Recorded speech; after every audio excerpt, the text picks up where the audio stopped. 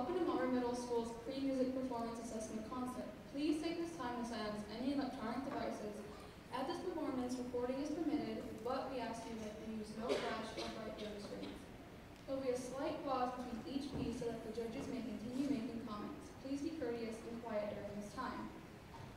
After the prepared pieces are performed, the orchestra will do a sight reading.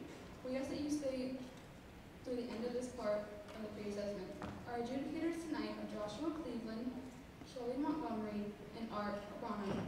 On stage is the Mulberry Middle School Sinfonia Orchestra. The director is Miss Deanna Rivas, and the principal is Miss Cynthia Cangelos.